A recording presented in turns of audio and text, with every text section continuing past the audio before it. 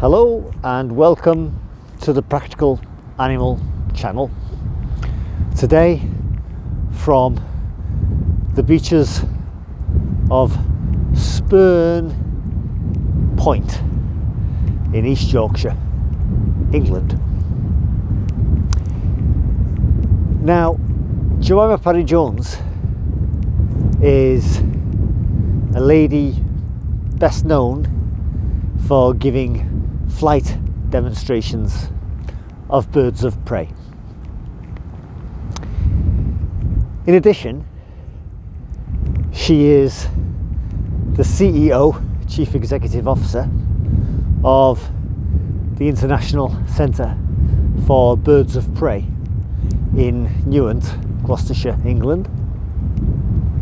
She's also a published author on birds of prey and she is an MBE. The International Centre for Birds of Prey was closing to the public. I spoke to Jemima asking her what being a published author had done for her career. What being a published author had done for her career, as well as being an MBE. I asked her about her experience a few years ago, closing the International Centre for Birds of Prey and moving to America, and then coming back to England again, and what the future held for her with the forthcoming closure of the ICBP. If you're new here, the channel is for you if you want to know what it takes to work with animals. Perhaps you want to work with farm animals or you want to work with wildlife. If with wildlife, maybe you want to work in a collection at a zoo or biodiversity venue, for instance, as a zookeeper or perhaps you want to work with wildlife in the wild, such as by working as a field biologist. Or to be blunt, perhaps you don't want to work with living animals at all, but dead ones, perhaps by being a taxidermist or a meat inspector. Whatever you want to be, we aim to cover it all. We do this by each week interviewing an animal industry professional and I ask them what are the skills and personal qualities needed to do what they do. But now I'm joined by Jemima Parry Jones. Jemima Parry Jones, MBE, welcome to the Practical Animal channel again. Thank you, and it's good to see you. Good to see you too. Thanks again for your time, Jemima. So I was reading the newsletter of the International Centre for Birds of Prey uh, about public closure, and uh, I was intrigued. Um, I was wondering, could you tell us, Jemima, please, uh, what kind of impact has being a published author had on you going forward? I've always admired published authors. Anybody who gets something published. Well, I don't know. I was very lucky when I when I wrote the books that I wrote. Um, all bar one, which is actually not published. I've got it on Amazon Kindle, I think. Um, I was asked to write, so that makes life a lot easier if you're invited to write a book rather than um, rather than actually write one and then hope to flog the damn thing. So from that point of view, it was it was very easy. Um, and what I always wanted to do, and of course failed dismally to do, is when you're asked to write something, write it well before the deadline and then leave it so you can then come back to it and go, Holy Moses, I should not have written that. Well, needless to say, that that's not what happened. So I wrote it so that it was just about done by the deadline. and occasionally I look at it now and most of the time I go, well, actually, that's not bad. That's quite good. And then sometimes I look at it and go, whoops, probably shouldn't have said that. What impact has receiving the MBE had on you going forward? Well, I would have said not a lot. Um, I always really wanted to get a, an honorary doctorate. It was a huge honor to get it from the Queen. It was a huge honor to get it for um, the work that we do that I've been doing in conservation. Whether it's impacted on my life, I'm not sure. Although oddly, today it sort of did because I'm now trying to find a new property um, to move to, which I guess we'll come on to in a minute. And one of the estate agents that I spoke to um, wanted to know about me. I said, look, all you have to do is Google my name and there'll be about a million things come up about me. And I, he then phoned me later to say I could go and look at a property. And he said, oh, I Googled you and you've got an MBE and blah, blah, blah. But actually, my sister has an OBE and my brother-in-law, who sadly died recently, had a CBE. So they're way ahead of me, both of them. We're a very BE'd family. And what about being the CEO of the International Centre for Birds of Prey? What effect is oh, that? Wow. Another acronym. Um, it's what you have to understand about me is I, am sort of fairly bossy uh, because having spent my whole life writing books and trying to teach people how to do stuff and having staff and what have you, um, if you don't if you're not bossy, then you can't get people doing things. Because I'm one of the people who say, oh, for Christ's sake, you know, you've only one life, get on with it. And, and if you're working, I, I've always worked very hard. Um, and whenever I have finished working in anywhere, I've always made sure that everything I have done is left clean and tidy and the whole place looks wonderful. And I've probably worked for 10 times harder than I would have done normally. And I don't see that these days. So being a CEO now is not as much fun as it used to be. Also, um, we're now a charity. So uh, I'm not really the boss. I'm employed by the charity, um, which is okay. But actually, I really quite liked being the boss without the charity. Um, which I'm sure some people understand. And as soon as you the reason I turned it charitable was trying to make sure that it has a long term future. Uh, and that has done that. But I really quite like being in complete control. So, you know, whatever. and if people don't like it, quite frankly, I don't give a damn. so, do you have many trustees to answer to then? They're very good. We've got um, six trustees at the moment, and they are very understanding. They uh, cope with everything that we have been having to do, which has been a huge um, upheaval, as you know, in the last four or five months. Um, and they they see the vision for the future, which is the important thing. I read in the newsletter that ICBP is going to close? Well, yes, ICBP is not only going to close, but it already has. We it's been a difficult decision. We looked at where we are now, both physically, uh, the infrastructure, um, all the things that we do, and then put on top of that the impact of COVID and the impact of the new zoo licensing legislation. And to make to look at this place now, it's slowly going downhill. I was very interested. I went to another zoo the other day, a huge place that should have absolutely bucketfuls of money.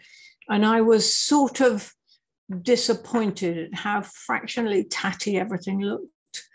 And I thought, I really want to make sure that we're not slipping down a slope of which you see with a lot of places. You know, you build an aviary, it looks great for the first three years and then it starts to look slightly old and then things change and you need to do different things. And so we looked at what we needed to do to make this place keep the reputation that it has and it has a phenomenal reputation and well deserved as well. Well deserved by the place by the staff by the volunteers by all the people that work here and i hope to a certain extent by me as well. And I just didn't want to lose that reputation. And if we'd gone on without putting in a considerable, and I mean a considerable amount of money, probably over three and a half million into the place, we were going to slip down the slippery slope. And I was just not interested in doing that. And neither were the trustees or any of the staff. So it was it was a rounded decision by everybody. And we looked at, I mean, I actually said if I won the lottery tomorrow, which would be jolly nice if I did, um, I wouldn't spend three and a half million here because we are totally in the wrong place. When we first came here, which was 55 years ago, 56 actually. This was going to be our 55th anniversary in May this year. The cars were Morris Minor thousands. The tractors were Massey Ferguson's 135s. These days, everybody's got a rental car. They know that if they scratch the damn car, there when they turn it in for the next new one, they're not going to get the same amount of money. So they won't get over into the hedge. So they get, I, swear most people don't know how wide their bloody car is anyway. Um, and the tractors are so damn big, they don't even have their tires on the road anymore. They're on the hedge. And that makes it very difficult to get to a place like this, which is up a relatively narrow road. And when they say location, location, location, I used to fight against that and say, no, no, no, no. People go miles in huge buses to go to really beautiful gardens. But actually, it is true. Location is crucial. So we thought, okay, well, we don't want to lose all the work that we've done. And the, the real good work that we do, apart from teaching people to really value birds of prey, which they do when they visit, is some of the stuff that people don't see, the stuff behind the scenes, the, the less um, publicized parts of the work that we do. So that's the conservation breeding, the research, the um, all the advice we give, uh, the work that I do in India, the work that I do in Nepal, uh, the work that I do with things like hen harriers in this country, all of that is very special. Um, and so we decided to forget about the public side and, and close to the public, which was hard to do. Although there were bits of it that was like quite good because I don't have to be rude. I don't have to be polite to everybody who's got really badly behaved children now, which is a huge bonus. But we won't go into that. Um, but but a lot of the visitors, most of the visitors, in fact, I think I would say, in comparison to some of the zoos that I know, we have been incredibly lucky with our visitors. They behave, they generally don't climb fences, they don't normally throw things at the birds. We have been absolutely lucky, and I don't know whether it's because we're out in the sticks or because people are terrified of me or what it is. But anyway, we have been incredibly lucky and we have a fantastic bunch of volunteers and a fantastic bunch of visitors. And you'll always get people who are a pain in the rear end. Um, and they're always the ones I upset and then they put rude comments on TripAdvisor. But now we're closed. I don't care. Yippee. but it's been really tough. And the other thing we've had to do, which for, for Holly, who is my curator, and myself, um, has been really tough, particularly this week, is letting the birds go, let them go into new, human, new homes. Uh, we've been incredibly picky. We have, Holly's done a phenomenal amount of work um, getting hold of people. I've done some of it, um, seeing who would like our birds. And we only have, I think, three that we haven't yet found homes for. And by the end of this month, the bulk of them will have gone to homes that are either as good or have better housing than we do.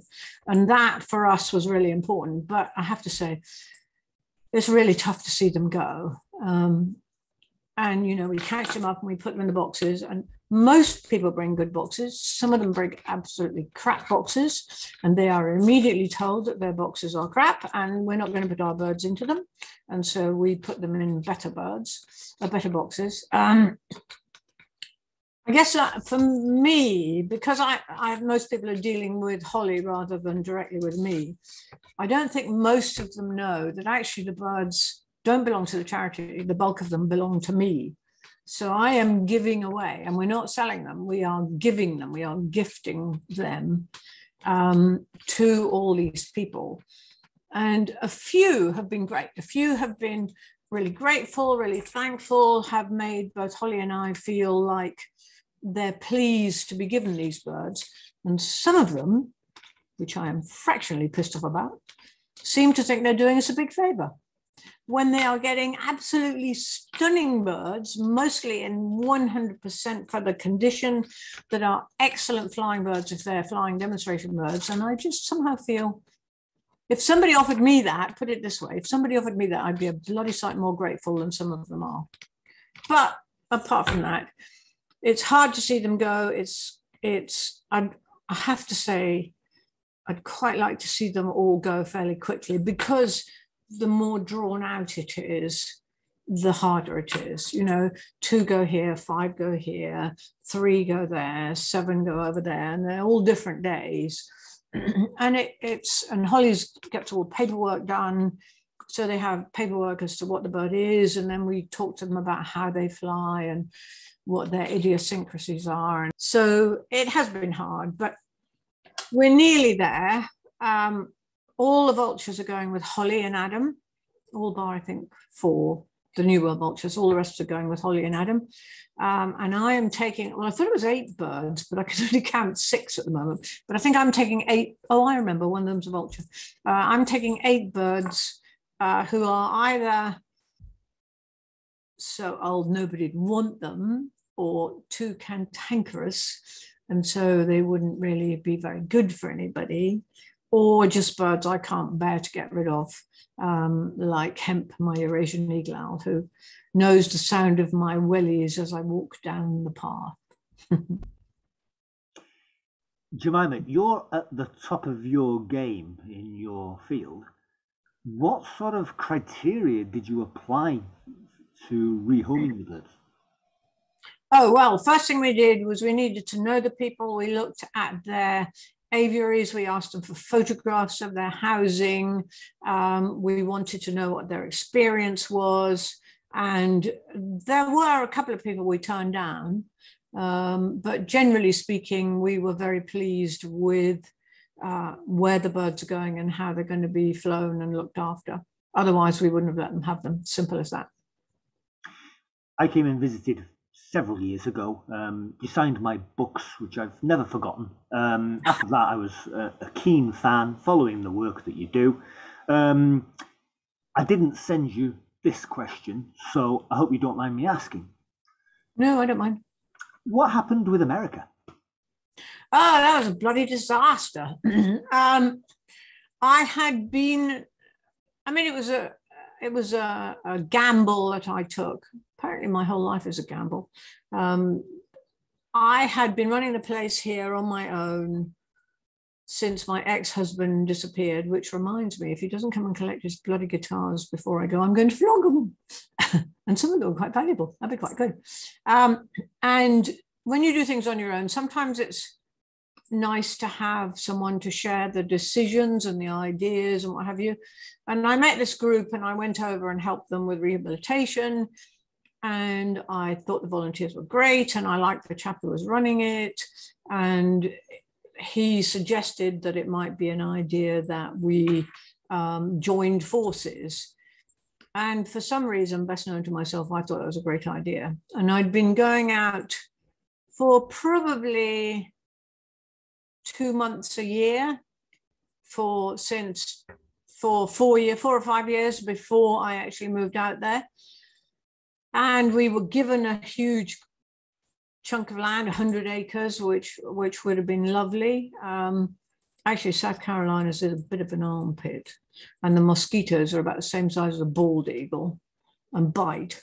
Um, and so eventually, I went out there, and it was quite extraordinary. It was as if the the uh, executive director over there went through a personality change the day I arrived. Uh, and it was really extraordinary when I was out there before, when we went to board meetings, because it was a trustee, it was a charity. I would go in his car, we'd go out to a really nice sushi restaurant afterwards, and we'd discuss what was going on. From the day I arrived, I was on my own. I had to get there by myself in my own car. Um, and then I drove back on my own as well. I thought, hang on a minute, this isn't what we what I bought into. And it slowly got worse and worse and worse until eventually I was supposed to go to a meeting to tell the board why I should run the public side and the other chap should run the rehabilita- rehabilitation side because that was both of ours talents, as it were. Um, and I'd had to have, I was supposed to have a meeting with him probably about four days before, which actually was on my birthday.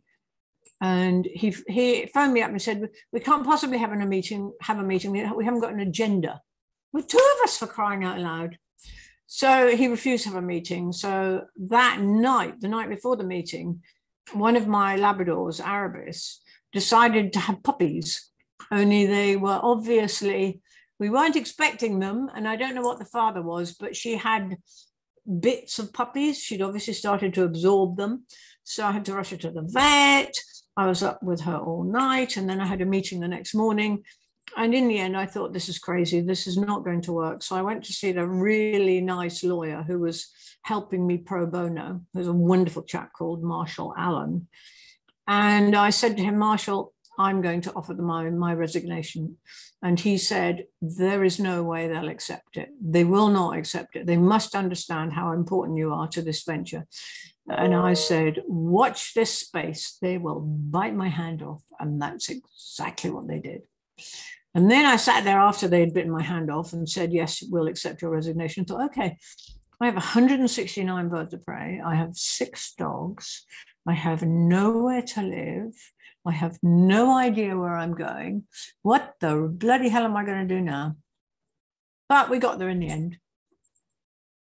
Because you'd Quite a story, eh? yeah, you'd sold the property at Newent, hadn't you? And you bought it back. Yep. Yep, sold this. I had nowhere to go. By the time I got back and had got back here, I had lost probably three quarters of a million pounds. Um, and I only got back here because an amazing chap lent me three quarters of a million pounds just before I was about to be sued. Um, and in fact, now we have closed and I have hopefully sold this property. I'm finally going to pay him back, which will make me feel very good because he's been amazing. Wow. When is the autobiography coming out? Sorry? When is the autobiography coming out?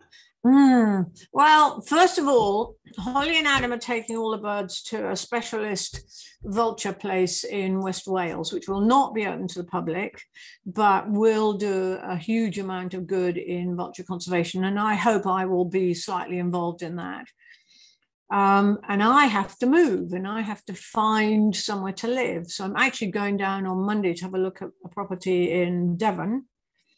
And but I'm looking Devon, uh, Dorset, Somerset, uh, Norfolk, Derbyshire. I'm sort of trying to have a wide view because what I'm going to do is the charity is going to move with me and I'm going to continue with the hen harrier conservation breeding program, which really interests me. Hen harriers are amazing birds. I've done all the stuff on the brood management nobody, as far as I know, has ever bred hen harriers seriously in captivity. I think there's one breeding in Spain, but otherwise people haven't. And I think we can. And the brood management has been very successful. So it would be nice to be involved in a release program of birds that we have bred on a conservation breeding program in this country. Uh, brood management is um, in northern England, a lot of the hen harriers, well, most of the hen harriers were not able to breed because there was huge amounts of persecution. And in fact, either in 90, in 2015 or 16, I can never remember which, uh, there were no hen harriers bred in northern England. Uh, and so there'd been a, a 10 year load of meetings to try and work out a plan to conserve hen harriers. And one of those aspects on that plan was brood management. Now, the problem with hen harriers is when they have babies, they're very good at eating all the all the grouse chicks they can find. If they don't have babies, they don't eat anywhere near as many grouse chicks. So What I do under license is I go up to Northern England where there is a hen harrier nesting within 10 kilometers of another hen harrier and where we have permission and i go and take uh, originally it was i was going to take eggs but actually by the time the license comes through i take newly hatched young bring them down here to gloucestershire rear them for three weeks until they can pull mice for themselves then i go back up to yorkshire and we have a very nice release uh, aviary, which I designed, which uh, we pop them in. And about another three weeks after that, when they can fly well in the aviary, and after they have been satellite tagged, we release them. And I mean, this will be the fourth year that I have done it, and it works incredibly well. I have seen I didn't think it was going to work. Now, I'll be absolutely honest. I went ahead doing this saying, I'm going to do this because I think I'm actually the right person to do it, but I don't think it'll work. I think that's rubbish. But actually, I've changed my mind. Um, I have seen a noticeable change in the attitude of the landowners and the keepers who are involved in brood management. They're doing what's called diversionary feeding, where you put food out for the hen harriers so they eat whatever you put out there rather than nobbling the grouse. That's working well to the point where when the keepers put the food out, the hen harriers are coming in and taking it before they've gone. So they know their birds. And some of them actually get to, to have some sort of relationship with them, which is what you want with stakeholders.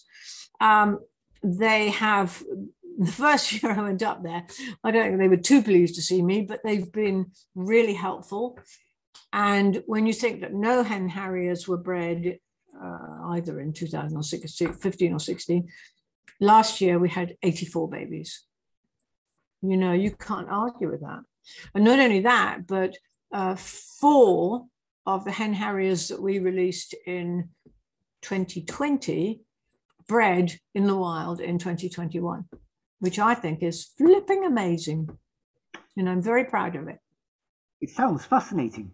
Anybody who wants to get up to speed with this, um, is there a, a, report anywhere or literature? Uh, there'll be reports on Natural England uh, on the Natural England website. Uh, we, I think there's a Natural England blob blob blog that talks about it. Um, there are some aspects, obviously, that we can't talk about yet. Uh, but once the trial is over, and this is the last year of the trial, uh, then there will, I'm sure, be some sort of information out there. So we put the information on how, on how the hen harriers are doing, how they're surviving, how many have bred. It's all out there if you if you have a look on the Natural England website. What's next in your career, Jemima? Finding a new home. Finding a new home building eight aviaries for the birds I'm taking with me, uh, moving all my furniture, which I hope to God will go in. Well, no, I won't be moving all my furniture because I'm in an eight bedroom Victorian house at the moment, and there is no way all my furniture will go in a smaller house. I'm downsizing, which I swore I would never do. I always said I'd rather upsize but I'm downsizing sort of. And so long as I can take my piano and various other things that I like, that'll be okay. And my plan is I've got to get everything settled and comfortable and right before I move the dogs because I don't want them to be stressed. And then the dogs and I will move to wherever we're going. And I will continue with the Hen Harrier program. I will continue with the vulture work that I do with the RSPB in India and Nepal. And um, if anybody would like to pay me as a consultant, I will be available. Can you outline what happens in India and Nepal, those projects? What's happening in India and Nepal? Well, how far back do you want me to go? Mm. Um, in the work I do in India and Nepal is to do with critically endangered vultures which is actually very interesting because one of the things that seriously annoys me from the people who've done the new zoo standards is that they're saying you shouldn't waste time breeding common species. Now, number one, how do they know what is going to be common two decades from now? And number two, that'll be number two, uh, what you can learn from a common species can then be put onto a critically endangered species that is closely related. So by saying, oh, no, no, no, no more zoos, zoos mustn't be spending time wasting it breeding common species, just goes to show that both DEFRA and the zoo's not very expert group actually don't know what they're talking about because conservation is not a fixed thing. In, in when I went over to India the first time, which was 1999, nobody had even noticed that the birds had had a huge, and I mean huge, population crash. It was finally noticed by a very good chap called Dr. Vibhu Prakash, who shouted and waved flags and said, Oi, something's going on. Um, and then we realized that what, what was Zoo's expert group, please note, the most common large bird of prey in the world in terms of numbers is now critically endangered in two decades. So don't come out with this rubbish in the new Zoo Licensing Act without knowing what you're talking about. And I do know what I'm talking about.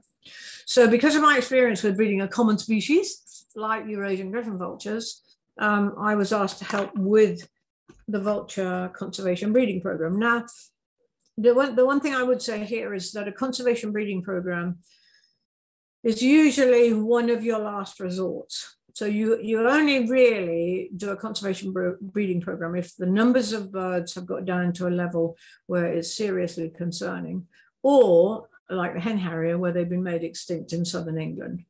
Those two reasons are good enough to start a conservation breeding program. Otherwise, it's actually better to get the habitat right. But with the vultures in India, we needed to move fast before we lost everyone. So I designed um, the breeding project, uh, the breeding aviaries, trained the staff, go over regularly to talk to them. Uh, well, before COVID, go out regularly to talk to them about the project, assist with things like um, advocacy, um, staffing, and all the rest of it. And we, it's been incredibly success, successful. We have bred all the species of endangered vultures in India. They know what they're doing. Um, and all we need to do now is be able to release them, which in India we can't do yet because the environment is not right for them. But in Nepal, bearing in mind, Nepal is a tiny country in comparison to India. Nepal's been amazing in not so good on the breeding. The breeding they have done some, but they haven't been that successful at it. But boy, oh boy, have they been good on getting the vulture safe zones done. And because they've got the environment right for the vultures and the cause, i.e., the non steroidal anti inflammatory diclofenac, non steroidal anti inflammatory drug diclofenac, has been banned, and they go into the pharmacies and make sure it's not there. Their vultures are now not only stable, but they're increasing. And I am extremely proud to be able to tell you that one of the vultures we did breed in Nepal has now bred in the wild with a wild vulture and has a very healthy, happy chick. So there you go. It does work. But the politics of conservation is always interesting. Yeah. Any comments about the, the politics of conservation? Yeah, don't touch it with a barge pole.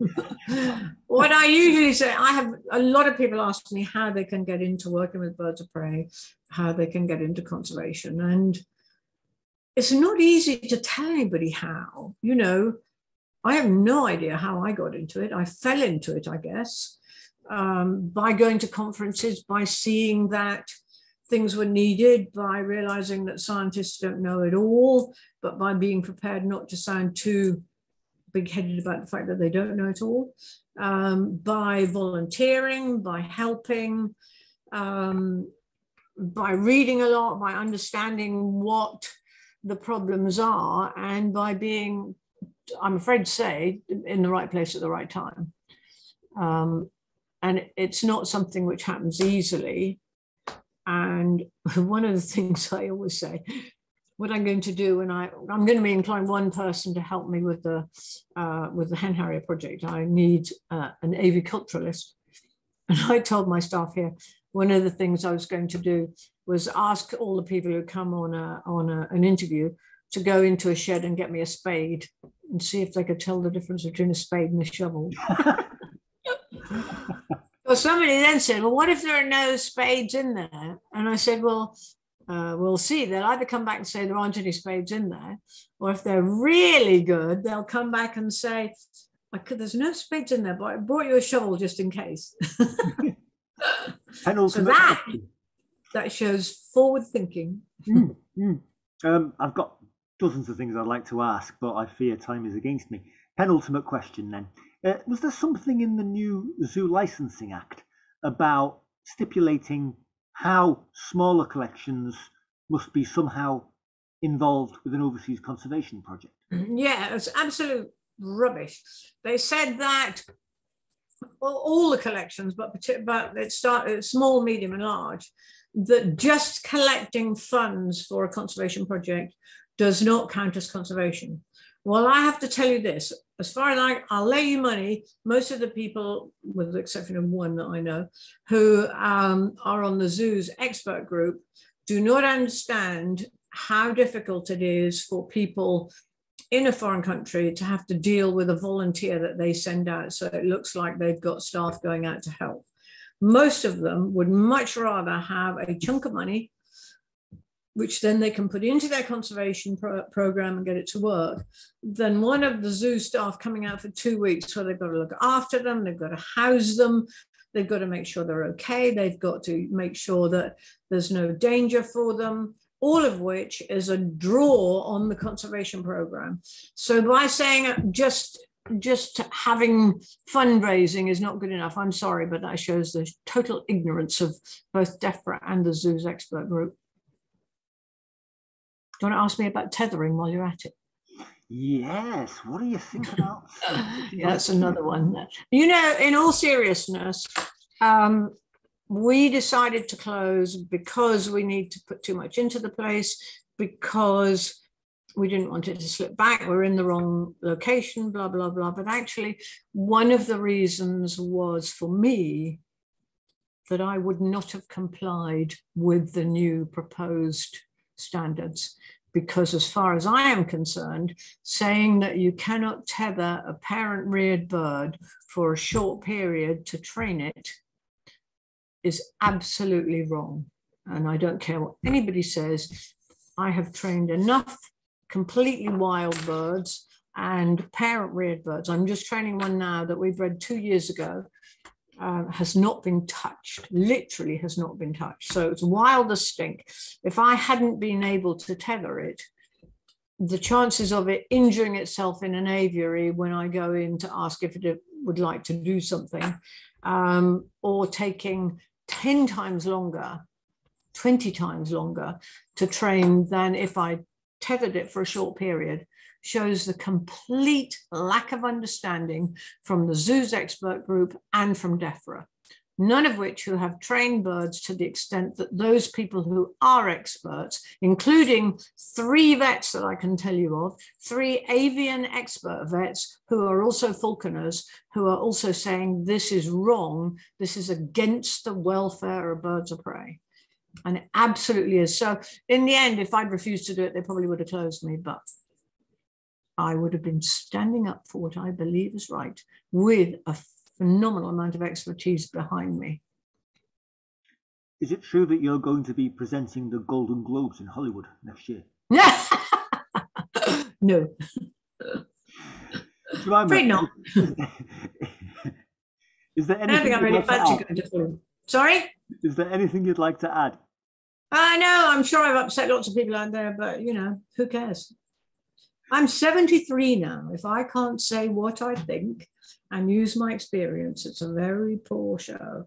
And, you know, I am absolutely deadly serious about what I say. Um, I do believe that some of the things that the new zoo standards are putting forward are wrong. And I think they've been badly written, badly thought out, and been done by people who, in my opinion, are not experts.